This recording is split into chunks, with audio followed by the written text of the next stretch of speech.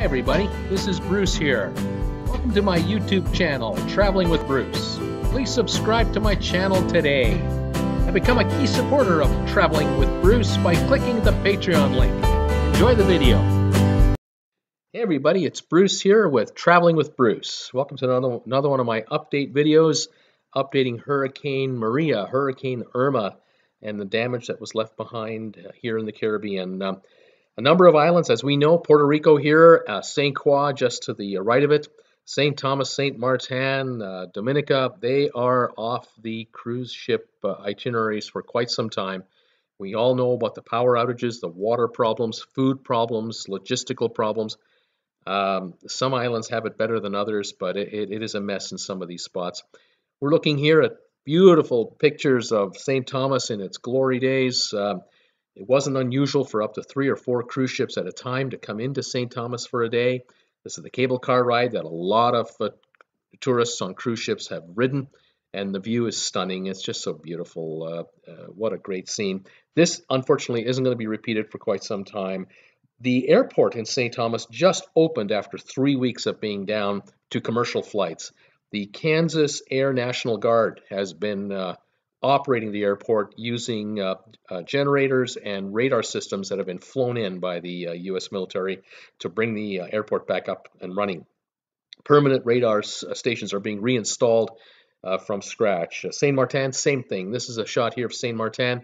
Also in its glory days, its airport just barely opened and limited commercial flights are starting to come in and out of the island, along with, of course, relief flights that continue. Dominica Airport, they're talking about it just opening as well, uh, and Dominica is even worse off than uh, St. Thomas and St. Martin. Uh, here we can see, you know, how beautiful uh, uh, St. Martin, uh, you know, was before the hurricane hit, and I have a shot here of the port where all the container ships would come in, drop off food, water, um, you know, supplies, hardware supplies, generators, cars, car parts, you name it, fuel, everything else this harbor here, this area is completely decimated by the hurricane and is still in rough shape. Uh, here's a quick shot of it here, an overhead shot, and you can just see everything is disheveled. Uh, warehouses were, were flooded out, uh, blown off, uh, uh, power is gone, water system's gone, uh, everything has to be rebuilt from scratch. This is at least until the new year before this is really back up and running, and even then it might only be at 20-25% capacity.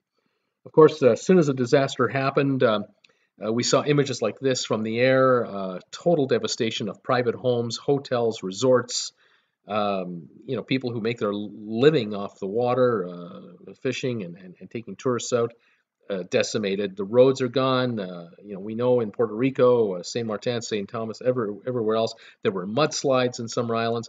The muscle was brought in. Um, the the National Guard came in. FEMA has come in. A lot of supplies flown in, and um, now supplies are being shipped in and and uh, replenished, and uh, they're trying to get the infrastructure up and running. This is a shot here of the airport in St. Thomas. It was down, as I said, up until only a few days ago, and even now the terminal is still a mess. It's uh, badly damaged, and so uh, you know it's not a pretty place to fly into these days, unfortunately. Here is a shot of uh, Cayman Islands, uh, Grand Cayman, just off Georgetown. ships who come that come to the Cayman Islands have to park in the water uh, about half a mile offshore. Uh, you cannot bring a ship to a, a, pier in the Cayman Islands. They just aren't equipped for that. And so for you to get on or uh, to the island, you're going to have to take a tender. And uh, it is not uncommon on most days for two or three ships to uh, visit the Cayman Islands, sometimes four. But this year, uh, this winter, 250,000 additional tourists are expected, 70 additional ships. There are going to be six ships per day uh, uh, waiting to uh, offload and reload passengers. So if you're visiting Cayman Islands on a cruise this year, get ready for mayhem because the dock, uh, the pier, can only handle a couple of tenders at a time. Lineups are the norm, and a lot of it is in open sunshine without even a cover. It is going to be rough. so the, the cruise might be a good deal, but uh, the onshore excursions might not be as enjoyable as they were in the past because there's just going to be that much many more tourists. One and a half million tourists today used to go to St. Martin and St. Thomas alone. They are now being diverted to all the other Caribbean stops, and the Cayman Islands is one of the places where they're headed. Grenada is another. They're adding 28 ships uh, this winter. 70,000 more tourists are going to visit Grenada. Uh, they're happy about it, but uh, I'll tell you, as a tourist, you might not be as happy when the excursions are um, overbooked or totally booked up, buses everywhere, taxis all over the place, complete mayhem, and uh, you're just going to have to get used to uh, noisy, uh, hectic conditions at some of these places. Now, ports like Labadee and, and other private islands that some of the cruise ships run, they won't run into that problem. Uh, Royal Caribbean will take their cruise ships to Labadee as they've always done, and uh, you'll be able to ride the zip line and the water slides and, and enjoy the beach with the cabanas because they'll limit their own ships into their own uh, luxury ports, of course.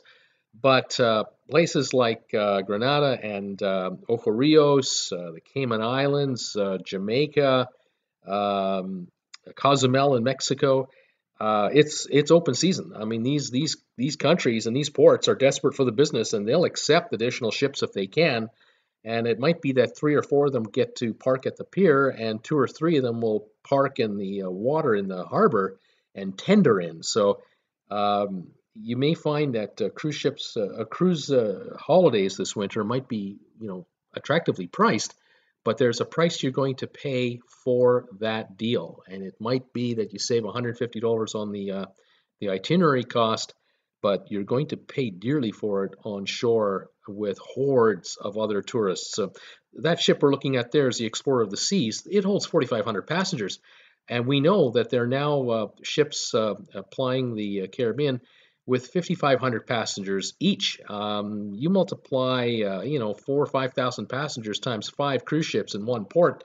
You're talking 15, 20,000 people that are coming in uh, at a time. This is just crazy. Uh, the Caymans announced, I don't know if I've mentioned it, but uh, 21,000 passengers are going to debark, uh, disembark onto the island on the 14th of November of this year. Uh, we, we already know that for a fact. The island only has 35,000 people living there. So um, is going to be quite hectic. Well, we'll have to see how it all turns out this winter. Anyway, this was Bruce with Traveling with Bruce. Your latest update. I'll try to keep them coming for you. Um, there's a lot of new cruise news coming up, and uh, I'm going to do some Q&A, uh, sessions with you guys. If you have any questions, just drop them in my comments on my channel here, and I'll be happy to answer any questions I can for you about cruising. And if you've uh, been here before, uh, give me the like. Uh, let me know you like the video. If you haven't, uh, subscribe to my channel and visit my Patreon page. So have a good one, and we'll keep you posted. This is Bruce with Traveling with Bruce. Bye bye.